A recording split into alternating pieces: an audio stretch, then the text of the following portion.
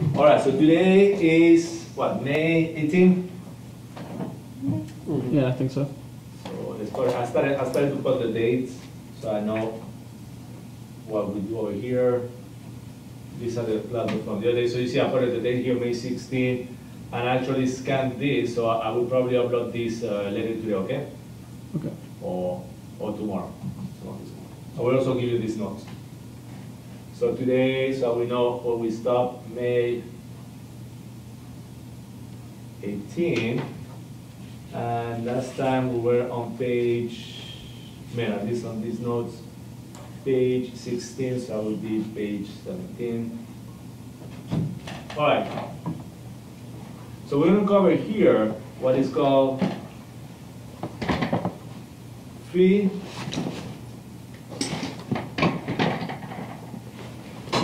but free vibration with viscous damping.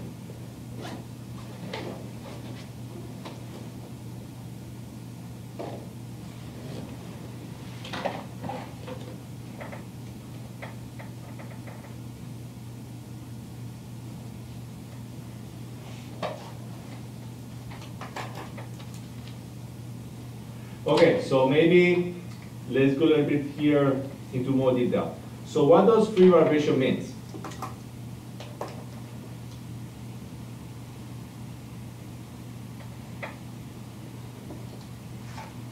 Anyone?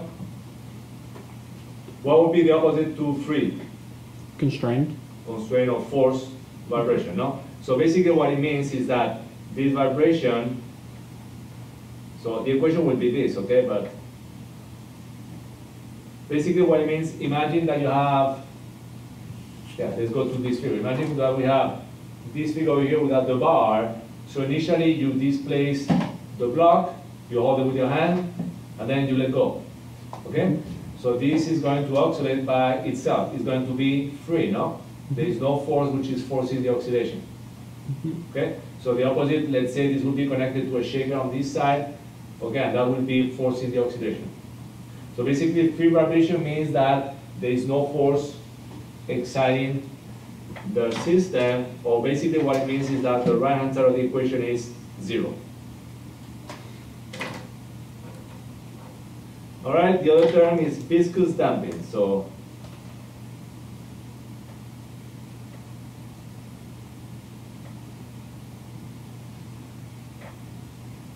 So viscous damping is, there's different types of dampings.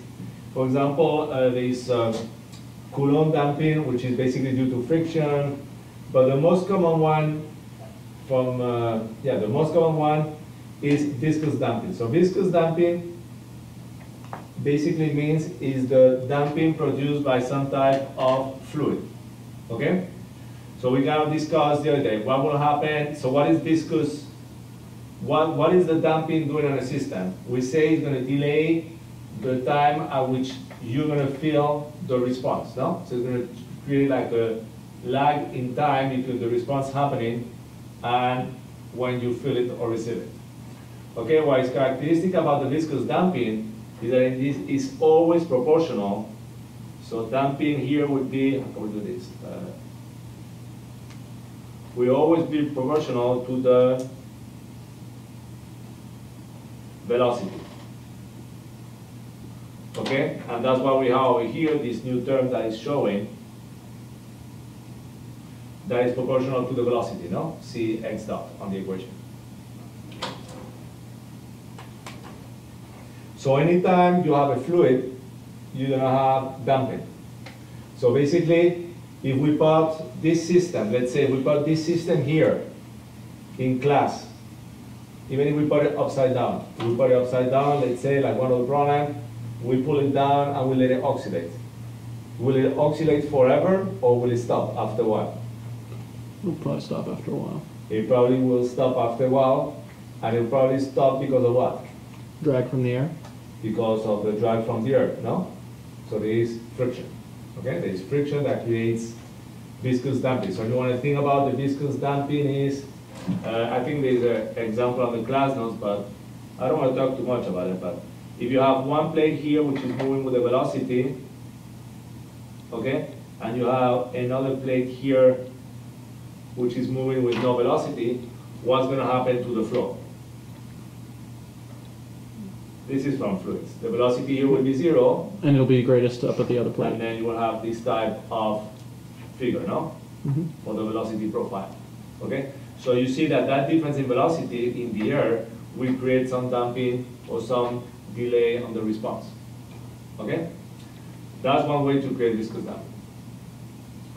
But think about it just like all those uh, suspension system where you might have just like a tube into, or a cylinder into oil. So what's gonna happen? You're transferring all the energy into the oil, no? Okay? So you're doing basically the same thing. Okay, so, all right, so let's get started. So, the procedure is always the same. So considering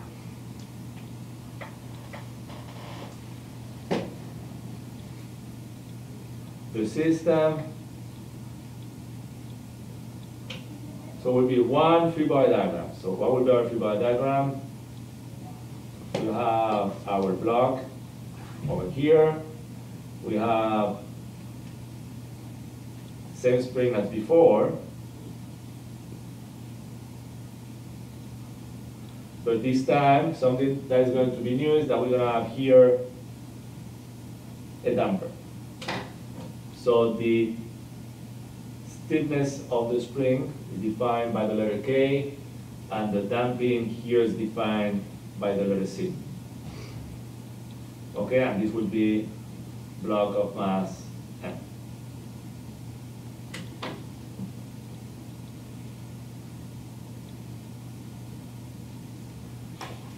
Okay, so we do one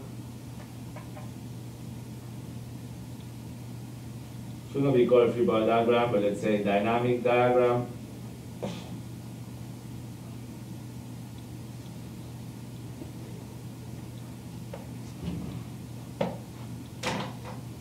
So let's see, what we have here?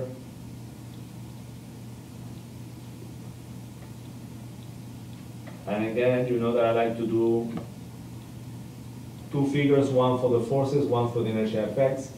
So what would be all the forces acting on that block over here? Would be, let's assume that initially, so let's say this is X over here.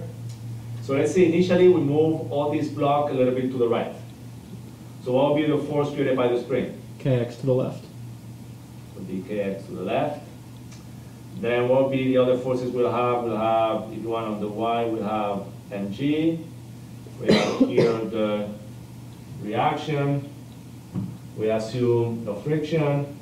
But then what happens here with the spring force? Force to the right of CX dot. So will be, I mean, the force, no, it's still gonna create over there, to the, uh, yeah, it's your right, my left, sorry. So go in the same direction as uh, kx, but this time on the equation is what? What should be the value of that force? C X dot. x dot. So the important thing over here, just to remember about viscous damping is that it will be proportional to the velocity, okay? Okay, and now what will be the fx over here? Which you can just write mx double dot. Because the type of motion is only translation. So if the motion is only translation, you write, let's say, Newton's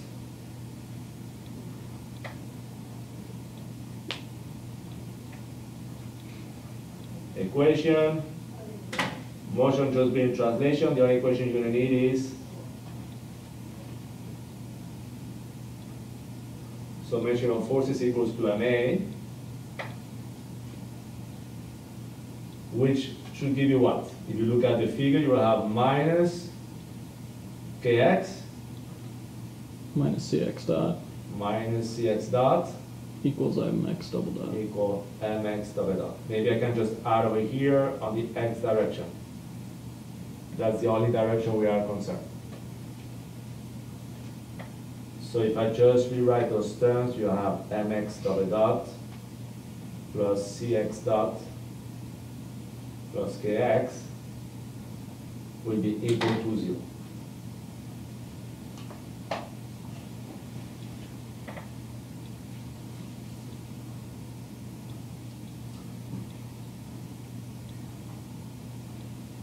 Okay, so So what do we call this part of the chapter free vibration because the right hand side is zero and it's damped because we have here this damping term which is in function of velocity. We could do as before, try simplify the expression, but we already have enough algebra as you will see going on. So let's just keep this one as it is on the class notes, that way I can go and compare. So page 18. Okay, so step one, two, step three will be to find solution.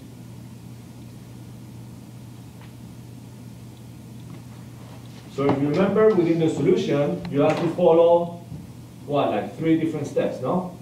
What was the first one? Assume a harmonic solution. Okay, assume harmonic solution, which means x equal to c exponential minus lambda t.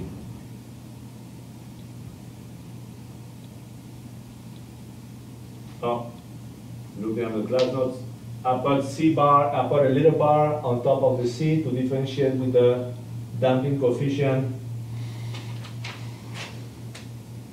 c over here. So you want, let's put over here, c is the damping coefficient.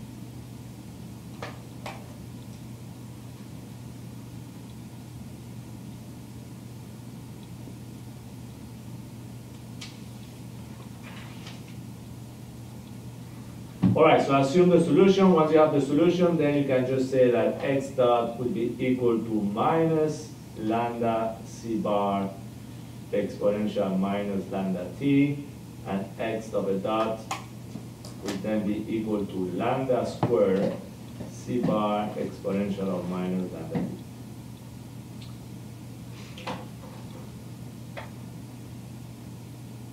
So we go and substitute into the equation over here.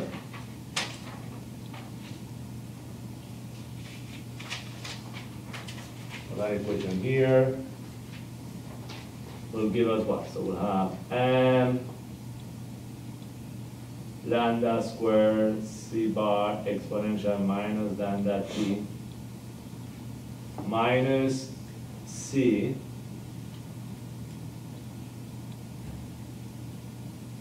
minus c lambda c bar exponential minus lambda t plus k c bar exponential minus lambda t.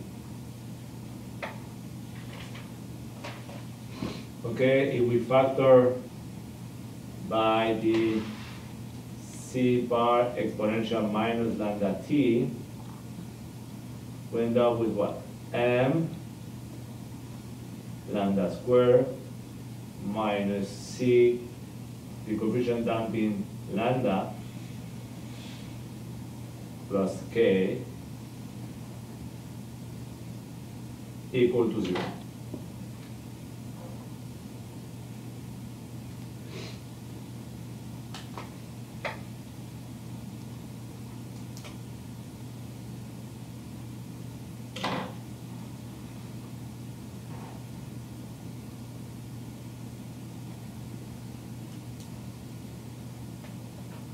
So I don't remember exactly, but what were the steps I gave you to solve the equation? One, to assume the solution.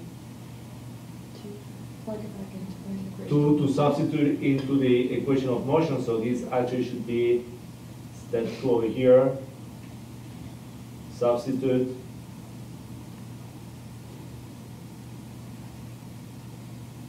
into equation of motion. We have here. So now, when is this equation satisfied over here?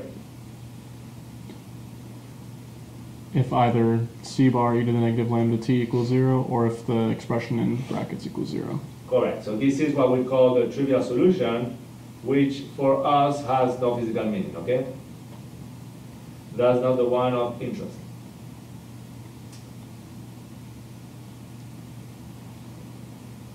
Or now what's gonna happen? So now, what type of equation is the one we have over here? Quadratic. So it's a quadratic equation, so we need to solve for when m lambda square minus c lambda plus k equal to zero.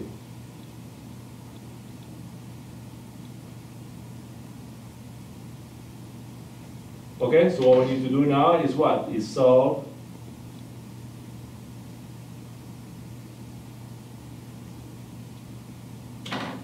So solving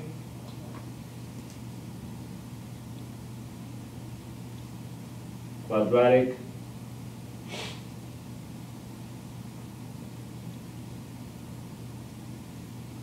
equation, what we're gonna have? The two roots, lambda one, two should be equal to what?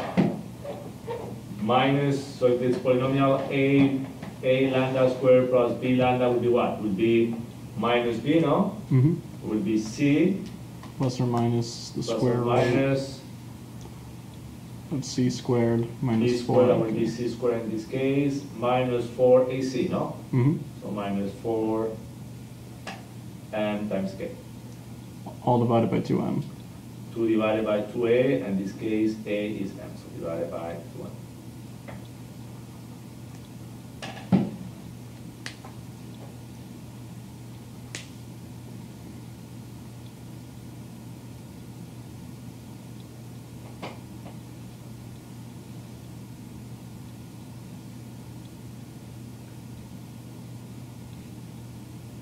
Okay, we can write this as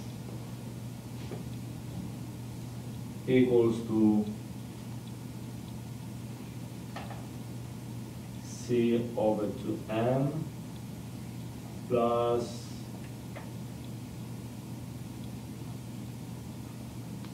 C over two M squared minus K over M.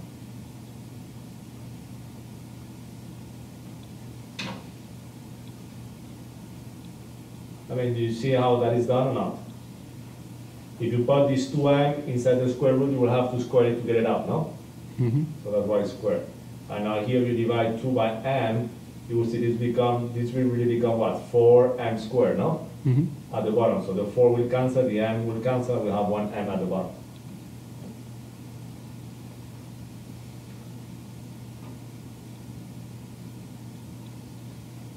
So you can use either one.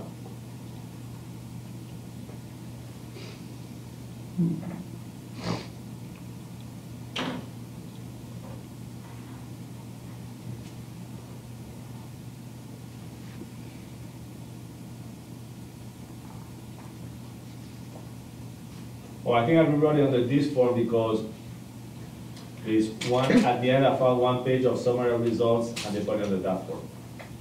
Okay, now that we have the roots for C, for lambda one, lambda two, what can we do? We can go back to the initial equation, no? Mm-hmm. So one, two, three. Substitute.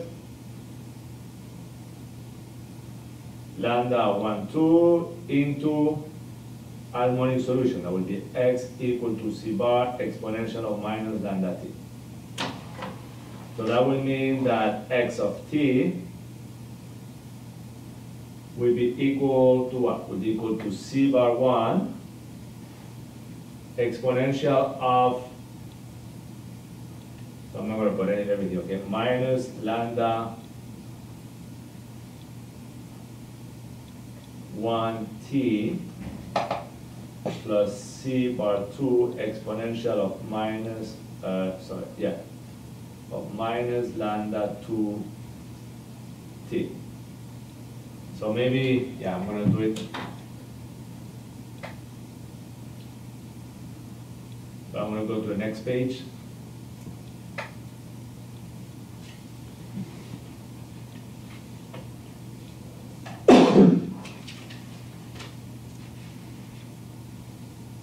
So, if you substitute, really the equation will become what? X of t, I'm gonna do with the blue, so it'll be thinner, will be equal to C bar one exponential of minus c over 2m plus square root of c over 2m square minus k over m t plus c bar 2 exponential of minus c over 2m minus c over 2m squared minus k over m. We take the square root of this, close it, and t.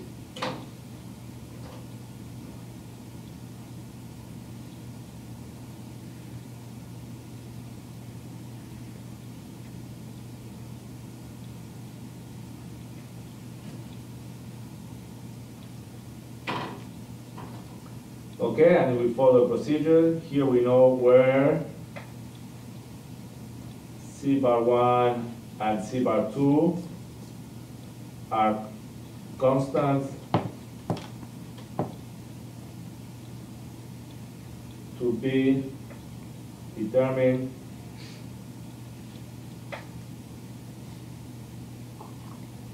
from initial conditions.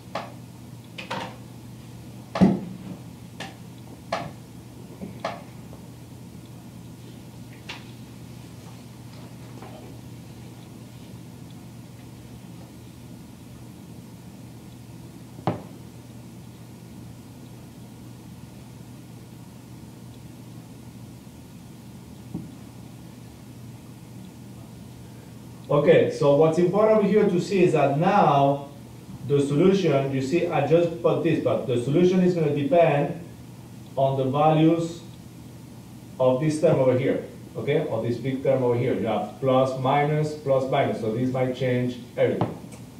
So the first case is actually to find the case for which the, this radical over here will be zero, which will mean the response will be only due to what? The minus c over 2m on this side and the minus c over 2m on that side. So case one, so let's say the, yeah, so the solution, the total solution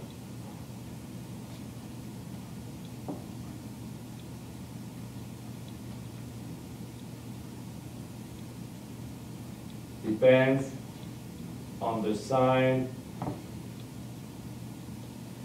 of the two roots lambda 1 and lambda 2. So our first case is going to be 1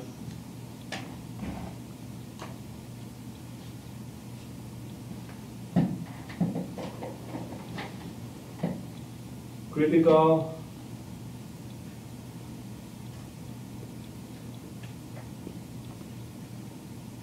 critically damped, but I was gonna do, let's see, I'm not following this exactly. Yeah, so let's do case one, critically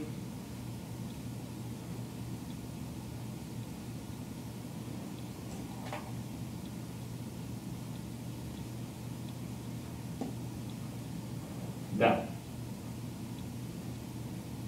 And we'll see what that means.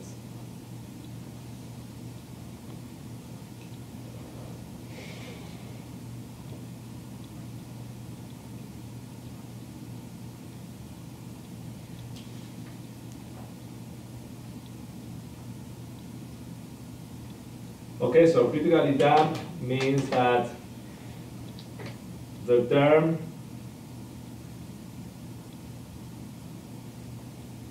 in the radical is equal to zero. So is the term on the radical? I mean, we can use either expression, but if I follow the class notes, I use this one here, that will be C over two M square minus K over M equal to zero. So let's see, in that case, what should be the over here, C. Should be equal to, So this will give us, uh, me do some algebra. It will give us c squared over four m squared equal to k over m, which will be what? c squared will be equal to four m okay. Okay.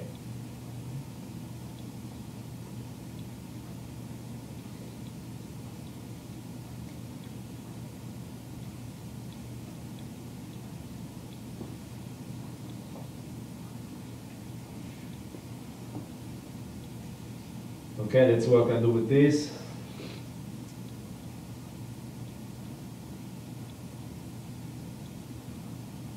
Uh, maybe I should have written this a bit differently. Uh,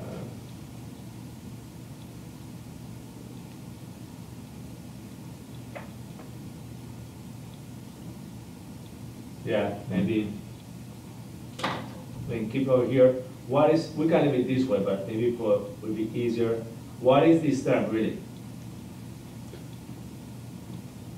Is the natural frequency, no? Hmm. Because you remember, omega n is equal to what? Square root of k over m. Square root of k over m. So we could leave it this way, but this would really give us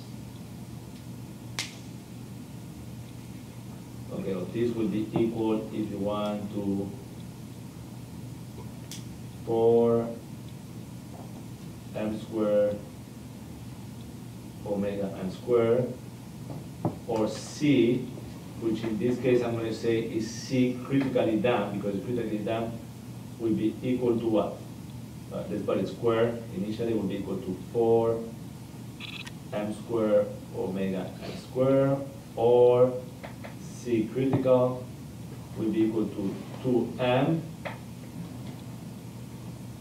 omega n.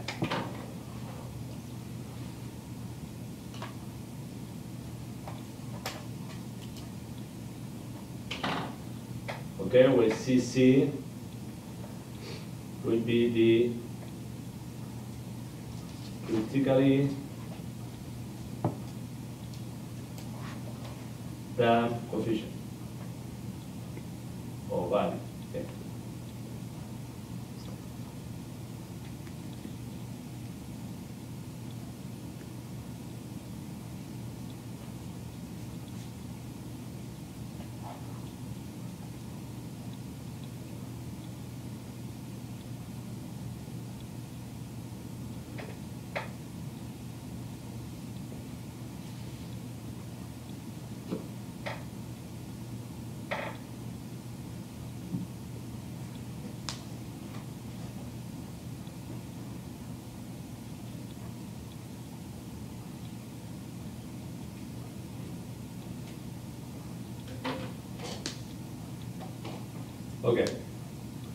So I changed a little bit in the notation, but, uh, I mean, the class notes. But we're gonna move on, I changed the notation at, at the end of this section. I'm gonna keep going over here. So page over here. So twenty. So it's, it is gonna be a bit different than the class notes, okay, online, so page twenty. So for the critically damped,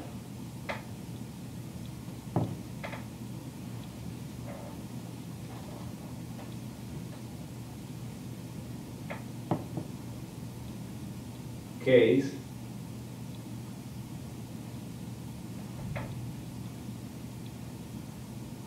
the solution becomes what? We have x of t will be equal to c1 exponential of minus, what did we have before? will be minus C over to M, C critical over to M times T plus C2 exponential of minus C, C critical over to M T.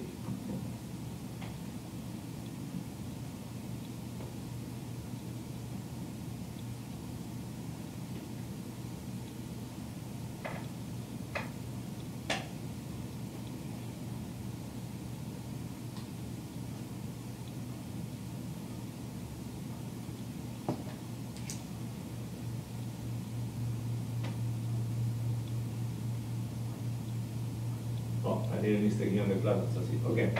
So, uh, now. Now. Let me just restart this page. But we can leave, we can leave the, just wait for a minute. Still gonna be page twenty.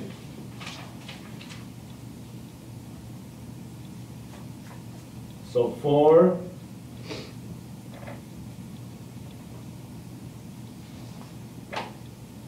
Critically damp solution, what we have? Lambda one, two will be equal to what? Negative C critical over 2M.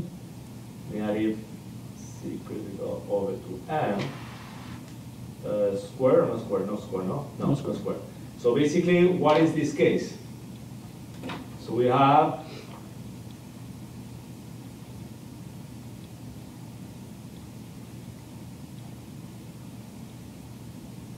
repeated roots. So in that case, what would be the solution?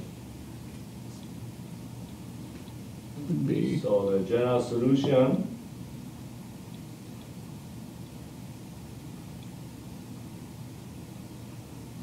x of t for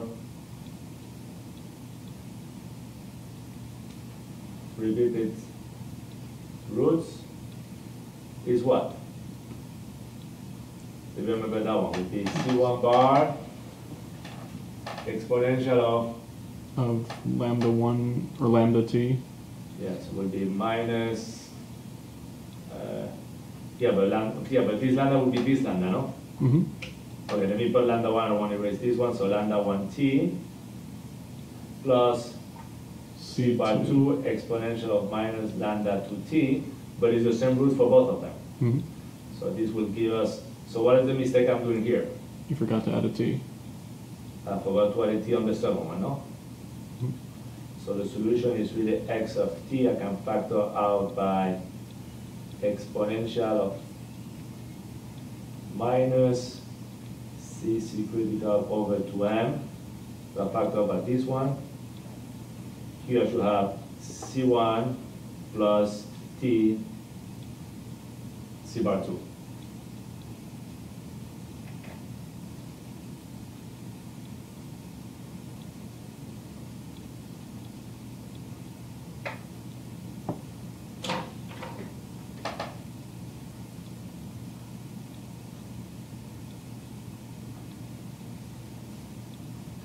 Okay, guys, so uh, if you if you look at the class notes, I use a different symbols which we're going to derive now, but this is correct, okay? There is no one way, there is not just one way to find the solutions. So let's go back now to the class notes so that we use the same notation, which is one step I forgot, but I didn't want it to go back. So now I'm going to write down defining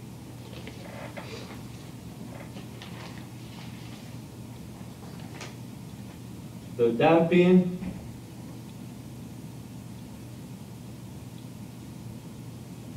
ratio Xi. Is a letter, I don't know to spell this one, please. I think it's this way, Xi. Okay? The damping ratio, so we define Xi equals C over C critical.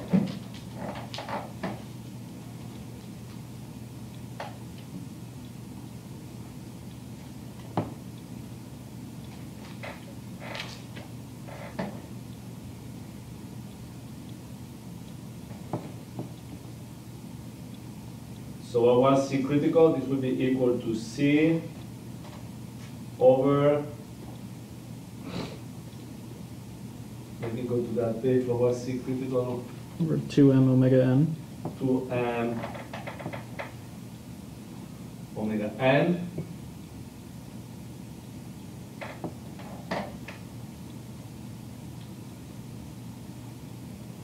So from that equation, we're gonna get that going to get here that C over 2m will be equal to xi omega n.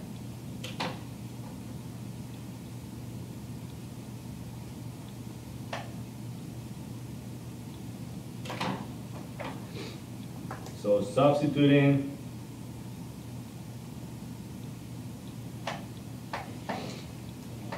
into equation, let's say, let's call this equation here one.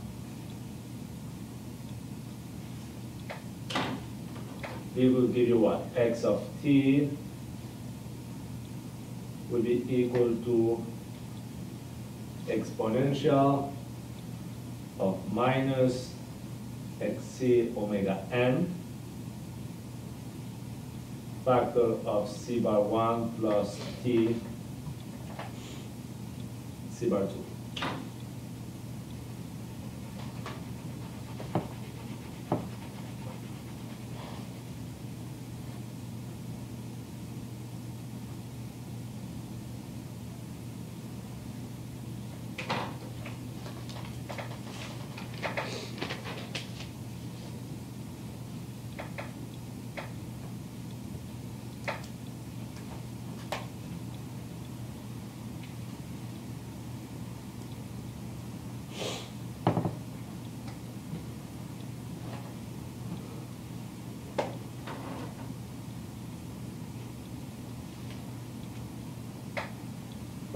2. Okay, we're gonna keep going with that notation, it's gonna be different than the, than the class notes, but I'll try to give you then this one, okay?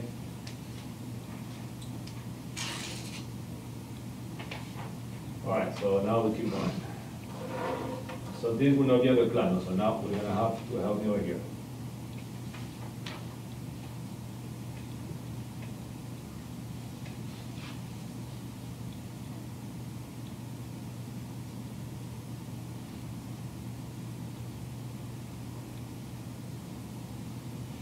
Ah, I'm not sure here.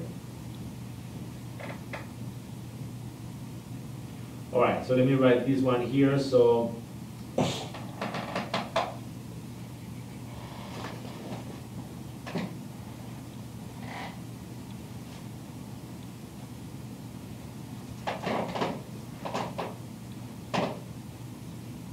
So critically damped actually means that this factor here is equal to one, so the solution is x of t equal to exponential minus omega n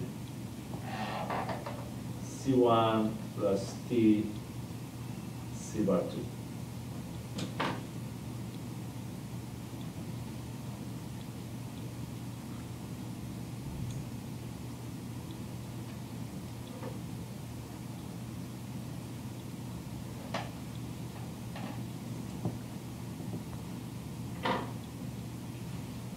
All right, I'm, I'm gonna go back a little bit just to make, to explain that again over here.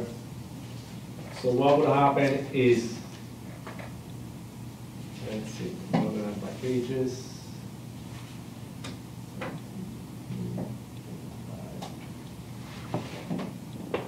Okay, is that using, so put here, note, sign, okay? Note, using. The notation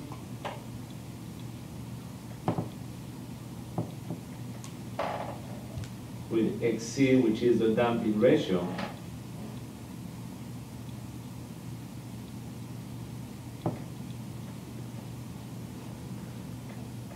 Which is c over 2m equal to c omega n the initial equation that we had, gonna be long, that one to write, so. The initial equation we had, here xt equals to c1 exponential of minus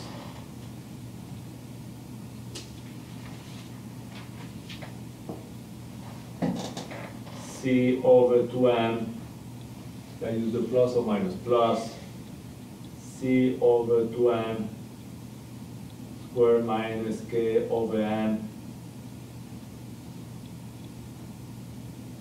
square root t plus c2 exponential of minus c over 2m minus square root of c over 2m square minus k over m t can be rewritten as what?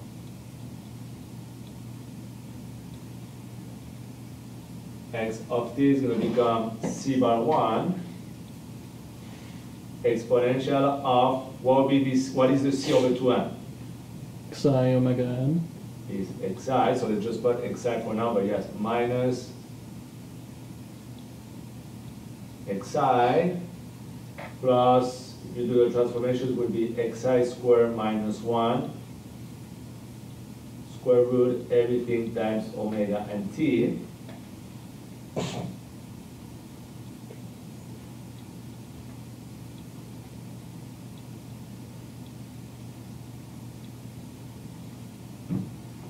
okay plus c2 bar exponential of minus xi minus xi squared minus 1 omega n t.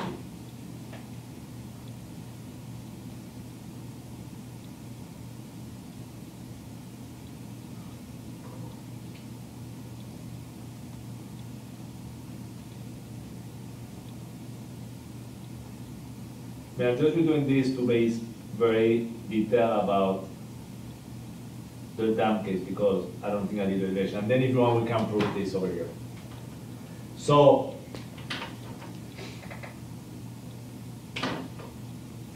we have the case one, which is critically damped. So I'm going back, okay, I'm going backwards a little bit, but just because I think I wasn't being specific enough. So we see that the critically damped was the case in what? In which the radical needed to be equal to zero, no?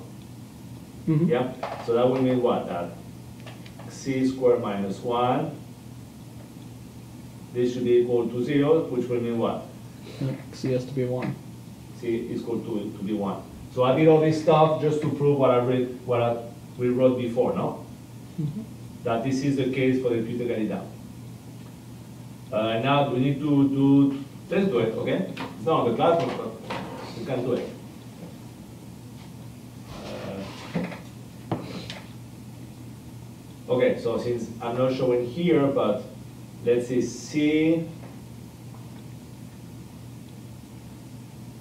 So proof over here of some. What I'm trying to show is that this over here is equal to this. So C over 2m plus square root of c over 2m square minus k over m. So we want to prove that that is equal to what? Is equal to xi plus x squared minus 1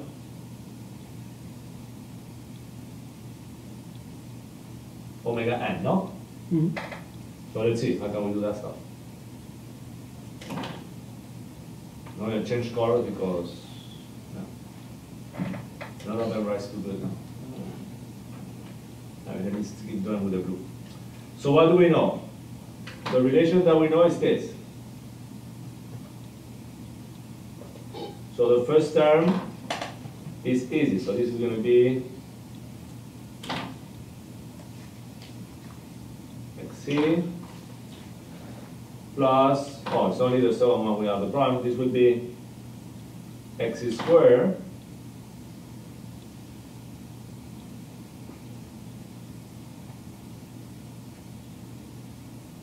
So we have here the omega n, maybe it should be omega n xi, be omega n squared xi. And what is k over m?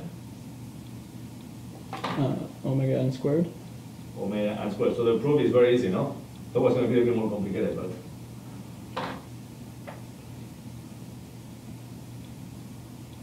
So now what happened if I factor by omega n? You have here xi, no? Plus, this one is square, so we move out, no? It can be here. So it will become x squared, and this will become 1, no? Mhm. Okay, so actually it was pretty trivial. But, you know, I want to show everything on the cloud.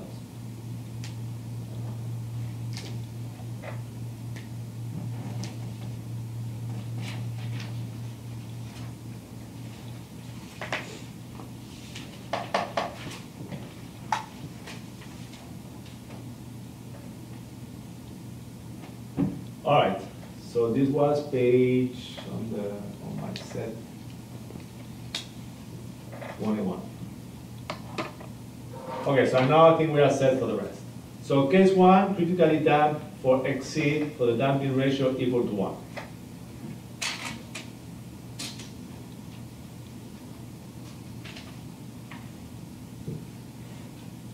Okay, so two, or case two,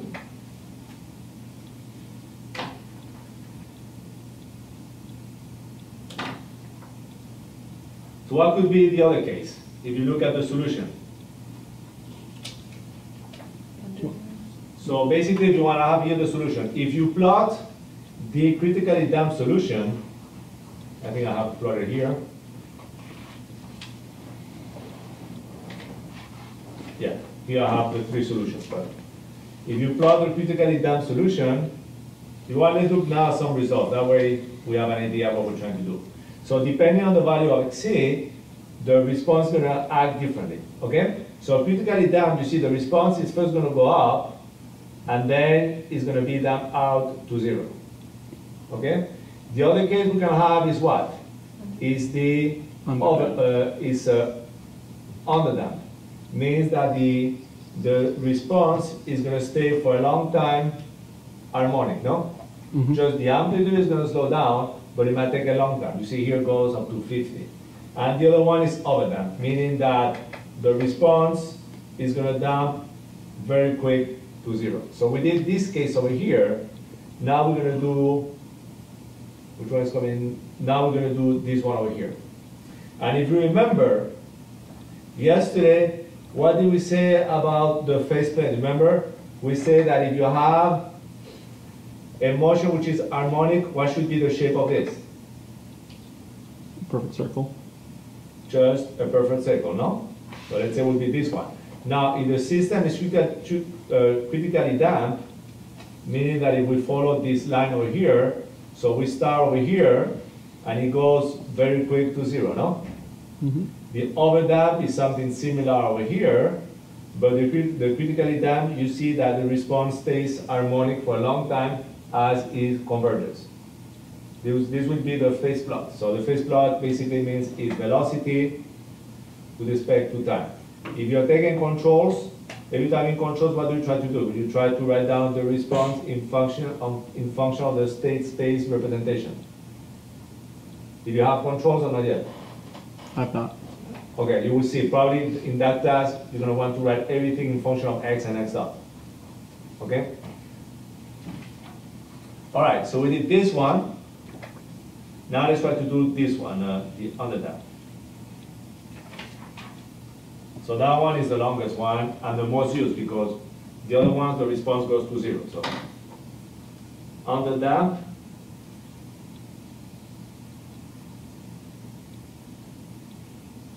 which in this case means that the damping coefficient xi is lower than one.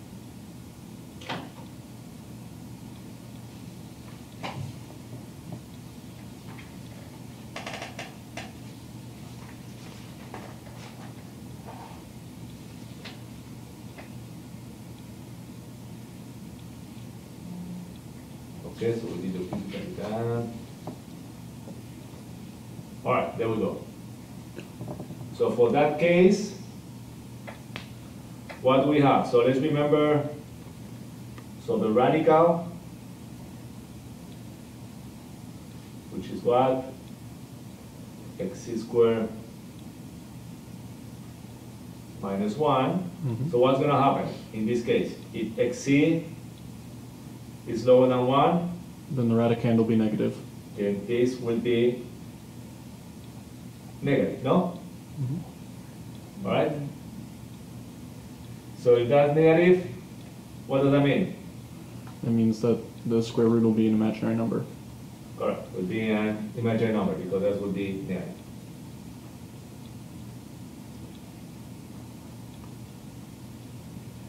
Okay, so the two roots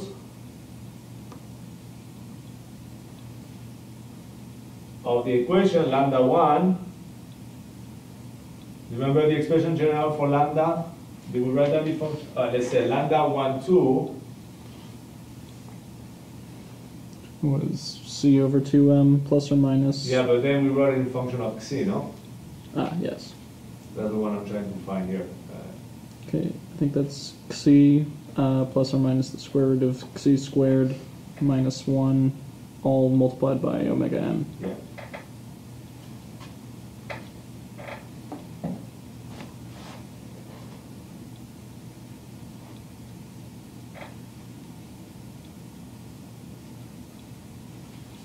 Okay, so basically this is, this is going to mean what? That the first root, I'm switching to the uh, xc1 will be equal to what? Will be equal to xi. So this term is negative, so becomes what? Plus i c minus 1, everything omega n, or the second one will be the same thing but with a negative value.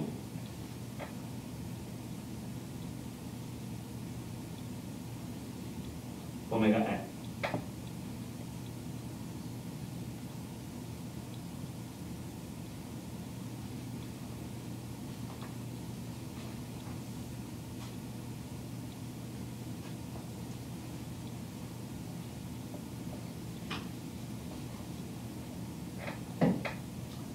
Okay, case,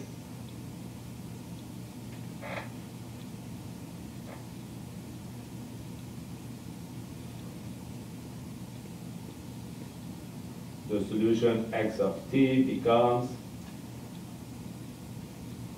switch to the blue, so it's going to be not a very pretty relation.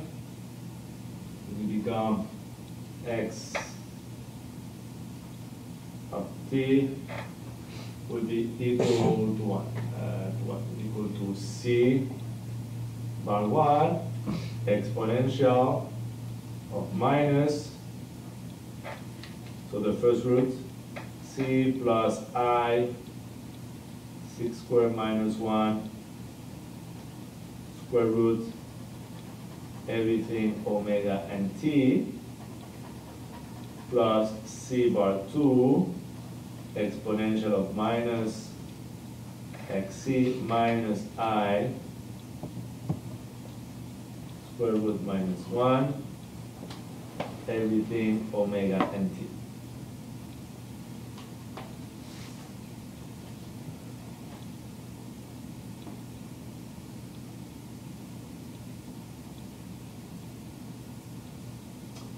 Okay, or I can write that expression as x of t will be equal to exponential of minus, so I can multiply this one here, xi. Let me write it down and then if I need to give details how I did it, I can do it. But what is your uh, exponential of a plus b is equal to exponential a exponential b, no? Mm-hmm. Yeah? Yes. So if we use that property, we can write, we can move this term over here out, and then we have over here c bar one exponential of minus i six squared minus one, and then this will be omega and t plus c2 exponential of i 6 squared minus 1 omega nt.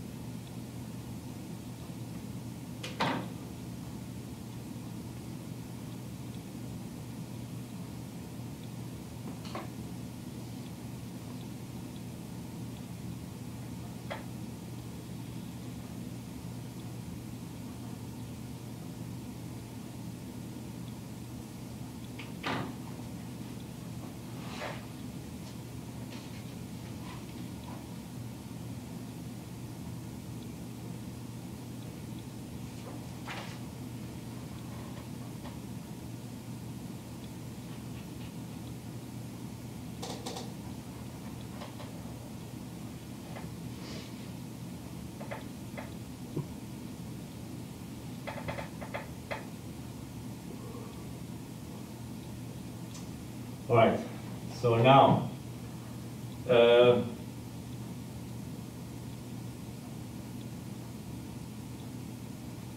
where in this case, many times, the frequency here, omega n of x squared minus 1, they write it under omega sub d. Okay? I don't think I use it much on this on the class notes, but I know many textbooks use it. So what is omega what do you think is omega sub d? Damped natural frequency. Correct. So you see this is the natural frequency over here.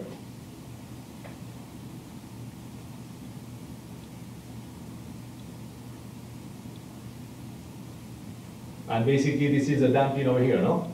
So this will be the damp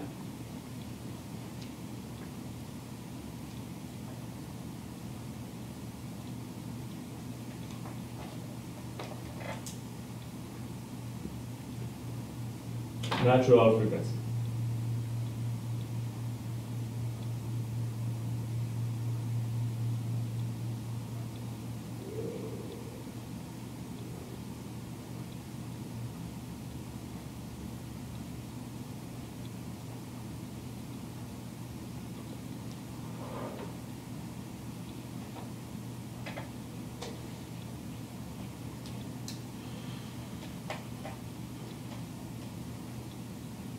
So I'm not gonna do a derivation, I'm just, it's on the class notes derived, but I'm just gonna mention it here. Not.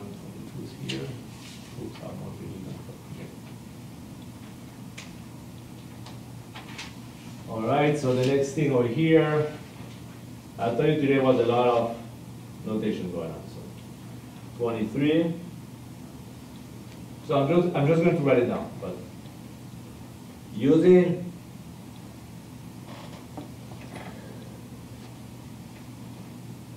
Euler's identities. Remember we did it for the harmonic solution where we had no damping? We had the exponential, at the end we ended up with what? With one expression that was only function of the sign, no? Yeah. Sinusoidal. So this would be the same thing, using the Euler expression plus going, so Euler expression and, so which is what, the exponential of minus i theta equal to what? Cosine theta minus i sine theta e and theta equal to cosine theta plus i sine theta and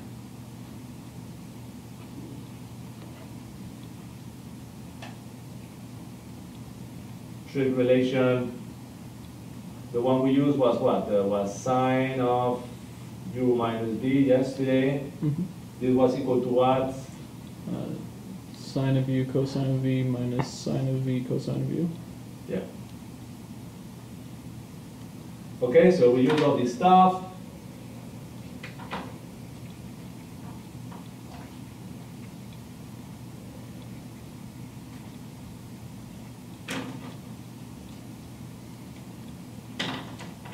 Have that x of t can be written as amplitude of exponential of minus xi omega and t sine, so I'm going to use the notation omega sub t t minus phi.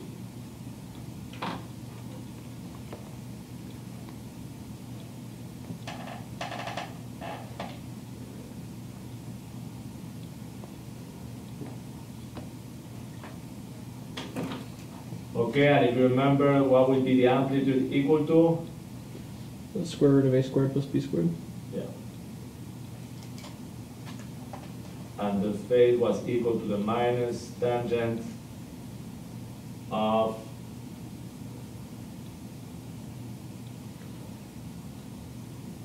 A over b.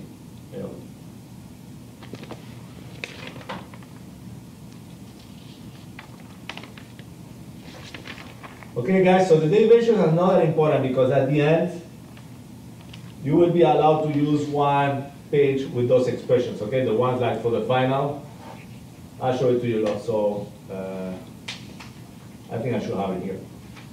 I think when I did the division of these of these equations, I did I did it in such a way that I could use this page over here, okay? Which you, you will be allowed to use during the exams or. So, so basically, you see that's why I use the C over here. Oh, this is a different one here, and this one over here. You see it's with the Xi values. That's why I decided to move to that one. Okay? It's not that clear, but this is all with the Xi values. You see the one we drag here? Mm-hmm. is the same one. So that's why I use that division. Uh, but what I'll show here is what? What's more interesting would be, let's go back. So let's look at the solution over here. And we know this will be this case, no? Mm-hmm. Okay? So days, how many terms do you have in this solution? You have the amplitude, the amplitude is not that important, it's whatever you have here at the beginning. But the amplitude, what would be the, the terms driving the solution? Probably psi, omega n, omega d, and phi. Okay, but basically you agree that the sine function over here, so if we needed to plot the sine function, the sine function would be the one going this way, no? Mm-hmm. Okay? If we needed to do another plot with the minus exponential function, it would do what? Just decay to zero. It would do something of decay of zero. So if you look at it, it's not pointing here on this figure, but this will almost be like we are here the, the, the equation for the exponential function, no? Mm-hmm. On each side, and between those two curves, you will have the harmonic solution, which will be the sun part, no, of the dam frequency that will squeeze between the dam solution. Mm-hmm. Okay? So basically, so the the bigger the this term over here, what's going to happen to this? The faster it's going to down, no? Yep. If this is small and this is this is still about the same, this might take a very long time to get done. All right. So when you think about it, maybe you think about this about is five seconds, ten seconds, fifteen seconds, fifteen seconds, or let's say hundred seconds allowed for the response to be done.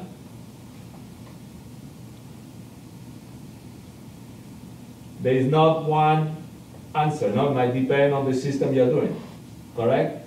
Yes. So I don't know, if you have, if you're trying to do a control of a car, of a race car, you want the response to be done quick, no? Mm-hmm. Within maybe less of a second. Yeah? So this will be a good thing to have this type of response. But let's say I don't know, you have a structure outside, that the only thing you want to do is to damp is if, if he, if he gets hit by something, no? If he gets mm-hmm. hit by something, you don't care if he's damp in two seconds or in twenty seconds, all right? As long as it gets damp out after a while, you are happy with it. You don't have to do something afterwards. All right, so we do the last case, which would be the overdamp. So let's see.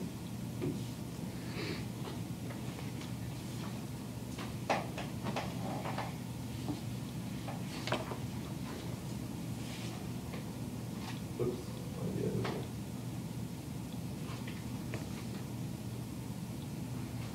Ooh, eight.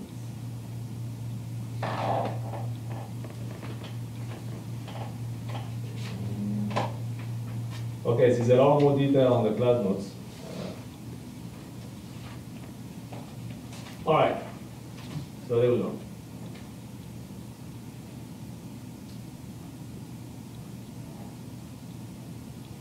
So case three, which is also point three, is the one that's called the overdamp.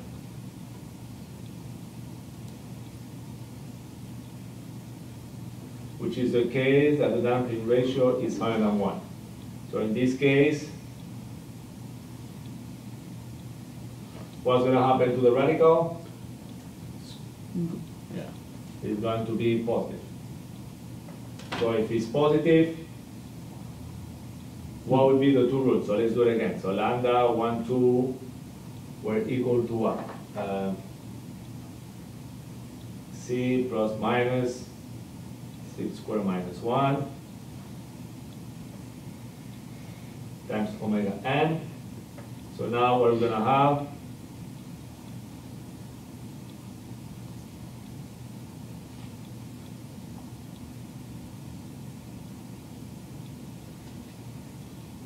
n and the second root would be xi minus six square minus one times omega n.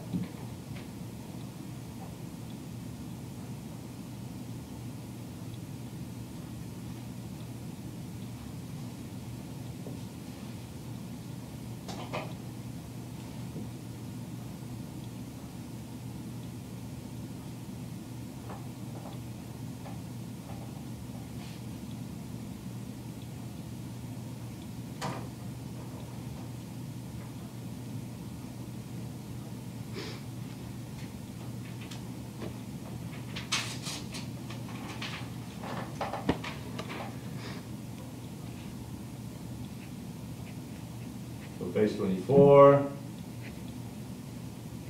So the general solution.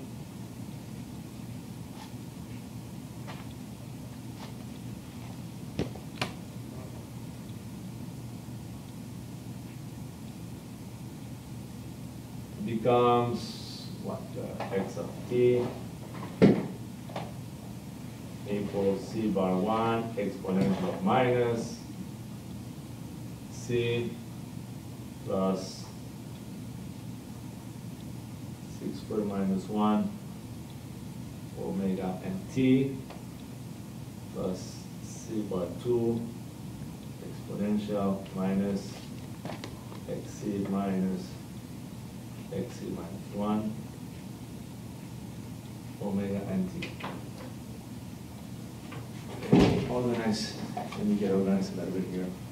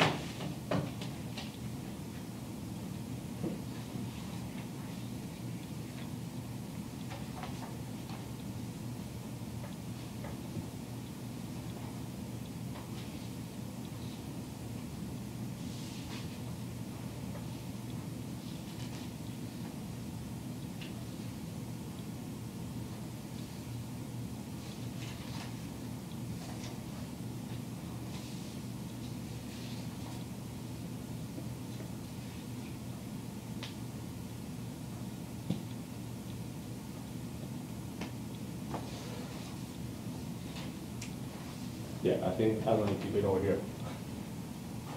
I don't wanna go too far.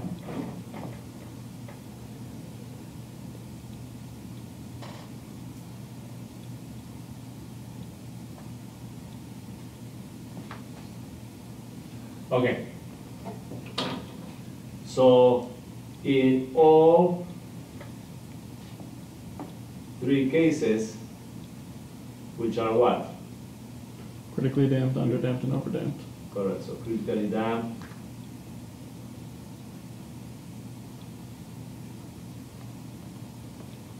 Dam.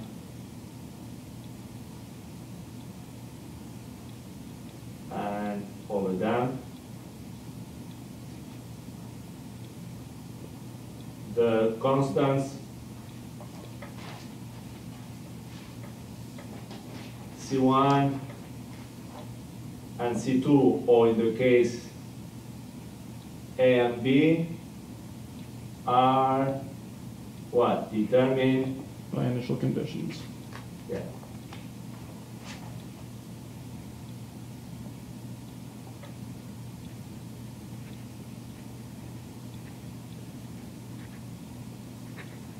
From initial condition. In most cases, conditions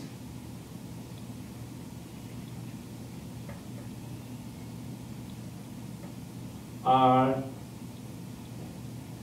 of the form. So let's see, if we do the example as I mentioned before, now we have the block, uh, initially we displace it a certain distance, and then we let it go. So if we think about that case, what would be the two initial conditions? Um, where is and what time? Okay, so x equal zero. What will be the position? Zero. Okay. Ah, will be, sorry, we'll have a certain position. The opposite. So we displace it at the beginning, no? It's at zero, we displace it, so the initial condition will be we displace that to the same to position x of zero. Now we need another condition. The other condition will be given by what? The initial velocity. initial velocity, so let's say v at t equals zero, which would be the same thing as saying an x dot at t equals zero. And what would be the velocity in that case? X dot naught. Yes, but in that case, when we pull, we hold it, no? Oh, so zero then. So it's zero. This is the more classical case. So remember, this is not zero, this is x sub naught, no? Mhm. All right? So obviously, if you do the symbolic, it would be x sub naught, but sometimes you will do a problem and you will have to, so what will be the case? The x sub naught, the smaller it is, the faster the response will be damp out, no? The bigger you do it, max, max, um, bigger will be the amplitude. So, I know you have, have access to the class notes, but, ah, here are the pages I just showed you.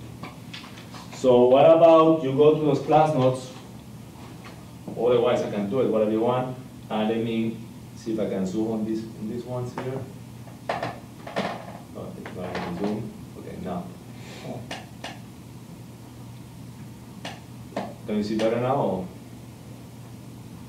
Yeah, so basically, you see, this is basically critically damp, mean, mean the damping equal to zero. This will give the type of solution. So what happened here, okay, I didn't do it in it takes a while, but if you apply those initial conditions, all right, the solution would take which form? x sub naught plus v naught minus omega n x sub naught times t. Okay, so it's already giving you the solution, all right? Then for the underdamp, basically it's the same thing. This is the giant expression that I gave you. Here, this is the same that I gave you, but instead of using the sine, it's using the cosine. Does that really matter? Nope. Use sine or cosine, is still an harmonic solution, no? All right? And then over here, you see what happened. This is the expression we had over here, but with the two constants here are not C1, C2, they call them D1, D2 over here, I don't know why. But in the case where the initial position is zero or x sub naught, the velocity is zero. I mean, here they do with certain velocity.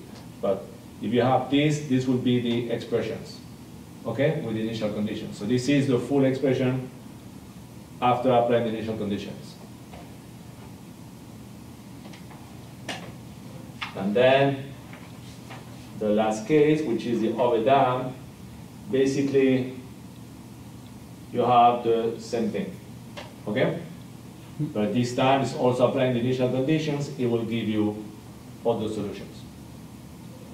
Alright, so if you go to the class notes, there is all those derivations about what would be the form of the equation after you apply the initial conditions. They are all done on the class notes using Maple. Okay? So I wasn't going to start writing here like four pages of algebra, no? So I just want to give it to you. All right? So, still have 10 minutes, but I think that's it for today. So, one thing. So guys, so the next step we're going to be doing is that right now you have seen that the, if you want the analytical solutions for these problems, do not look very pretty, no?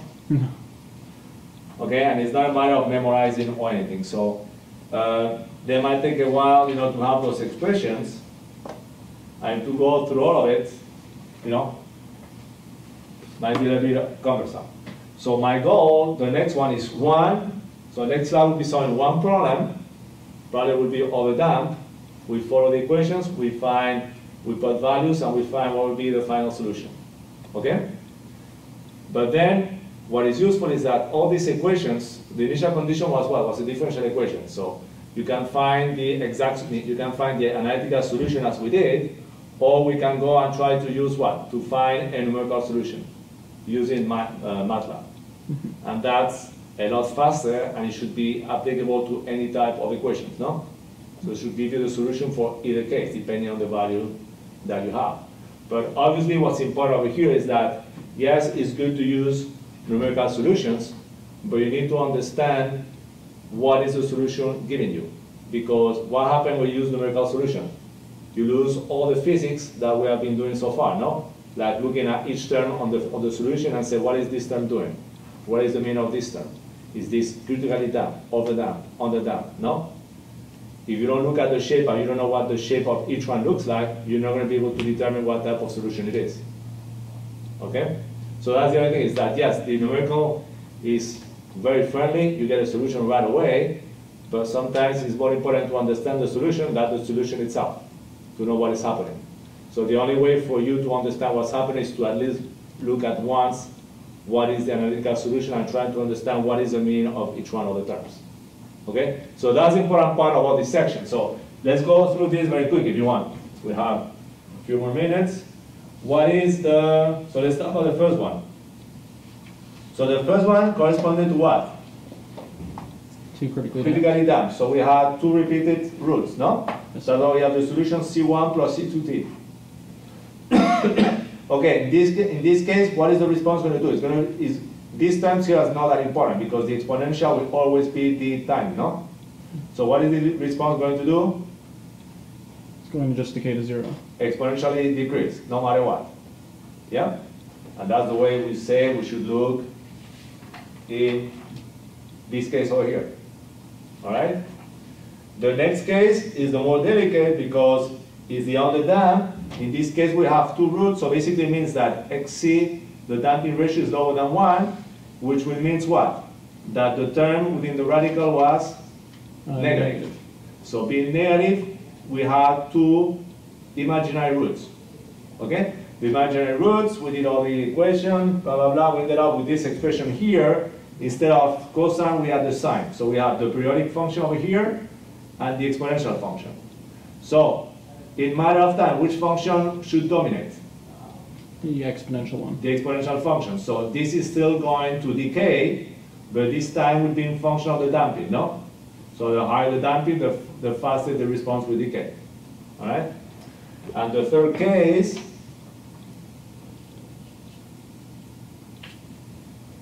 which that one is a lot earlier. Okay, but don't look, oops, don't see here. I wouldn't look at the at these expressions here, we just look at the first one, all right? And this one here, And this one can be a little more tricky, but in this case, what's gonna happen? We know these ones will be positive. Okay? So what does that mean? Oh, so both of them will be positive. So what's gonna mean? What, what dominant is gonna dominate? The term C1 or C2? Should be C1. C1 will dominate, no? Yeah. No matter what.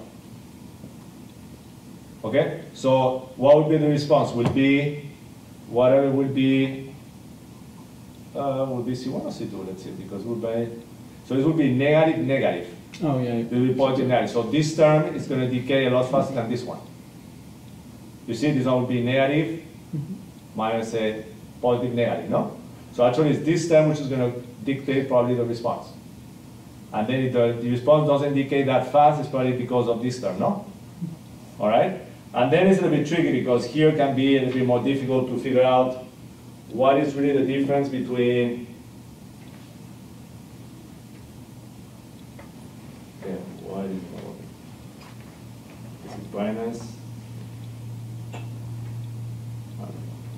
Can be a little bit more tricky to see what is the difference really between the critically damped and the overdamp, no?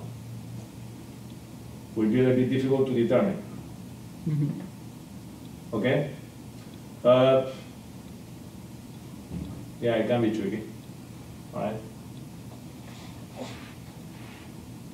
All right, so that's it for today. So next time we do one problem, we do it following the equations, and then I'll show you how to do the numerical solution. All right. So let's start the recording now.